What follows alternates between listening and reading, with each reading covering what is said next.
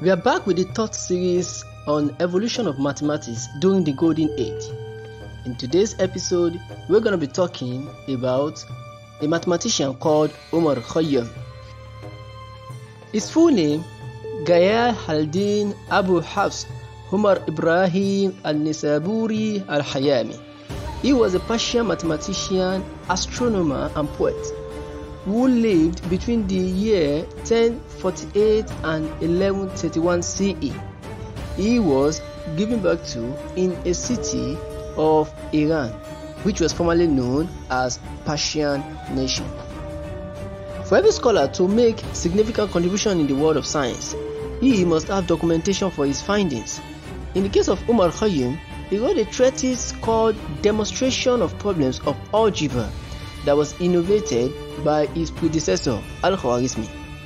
Umar Khayyam made significant progress to the legacy of his father, of, of the father of algebra. He was the first mathematician to explain the concept of cubic equation. His famous cubic equation that was first solved by Umar Khayyam was s cubed plus 200s equals to 20s squared plus 2000. He was not able to derive a unified formula to solve this cubic equation. He rather employed the geometric method to solve this equation.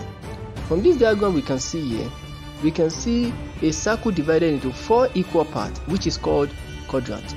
And inscribed in the first quadrant, we have a right angle triangle that is bounded by two radii, the radii B and radii D.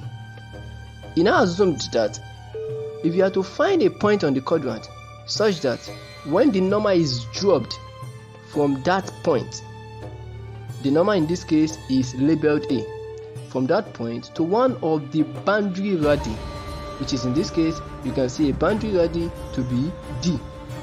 The ratio of the normal length to one of the radius, the ratio of the normal length, which is A, to one of the radius, which in this case it can be B, is equal to the ratio of the segment, which is determined by the foot of the normal. In this case, the segment is the division of circle. Each of this division of this of this circle into quadrant is a segment. So the foot of the what of the segment is D to C. Each of the part of the division of a circle is a segment. So in this case, we have this diagram representing the first conception in solving the cubic equation, which is which was used by Umar Khayyam in his first attempt. Another explanation made by Umar Khayyam in solving this cubic equation is the is the usage of a right angle triangle labeled ABC. The hypotenuse is A, the two other sides are labeled B and C. When you are, if you are to find a right angle triangle that has this property that the hypotenuse is equal to the sum of one leg, in this case it can be B, plus the altitude, which is the height of the right angle triangle, in this case it is C. When a, a, a, right angle triangle has this property which is equal to a is equal to b plus c. This particular explanation was also conceived in solving the cubic equation by Umar Khayyam. Using the two previous explanations of a circle and a right angle triangle, from this picture we can summarize our explanation that when you have a right angle triangle inscribed in a circle then from that from that inscription we can see the point of meeting the point of intersection of these two shapes and from that point of intersection we, we can carve out a shape called parabola and this point of intersection produces solution to the cubic equation as explained by Umar Khayyam in his book generally speaking a cubic equation is represented with as cubed plus bs squared plus cs plus d equals 0 which is gotten from this point of intersection using this shape. To make, to make it more interesting, we can use a layman definition to, to, to think about a cubic equation. When I'm thinking of a number, if I cube that number, then add 1 to that number. My result is 9. What am I thinking of? Think about that particular phenomenon and you get a cubic solution. Another major contribution made by this mathematician that made him so relevant in the world of mathematics today is the reformation of the solar calendar, which he called the Jalali calendar. As an astronomer that observed the solar system for some time, he came up with a calculation where he uses 8 of every 33 years as a leap year. Then he finally conclude he finally concluded that one year is 365 days, 0.242198 and in today's calculation by modern scientists, by modern astronomers, they come up with a calculation of one year is equals to 365 days 242190. The difference between these two calculations, between the Umar Khayyam calculator calculation and the modern day calculation is 0.000008 which is very very insignificant and that made him so relevant to date. His solar counting system is still used in the Asian part of the continent till date. Now, 500 years later, Pope Gregory, 500, 500 years after the, the death of Umar Khayyam, after the contribution of Umar Khayyam, then Pope Gregory came up with his solar system, which we call the Gregorian calendar today, using some team of astronomers to work on that calendar, but which is not as accurate as the Human Hajim calendar.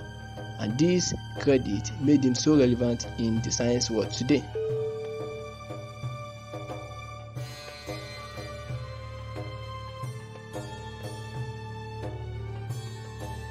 Umar Khayyam did extensive solutions for many mathematical problems and algebraic equations. These efforts of Umar Khayyam paved the road for many Western scientists like Blaise Pascal, Sir Isaac Newton, who came hundreds of years after Umar Khayyam.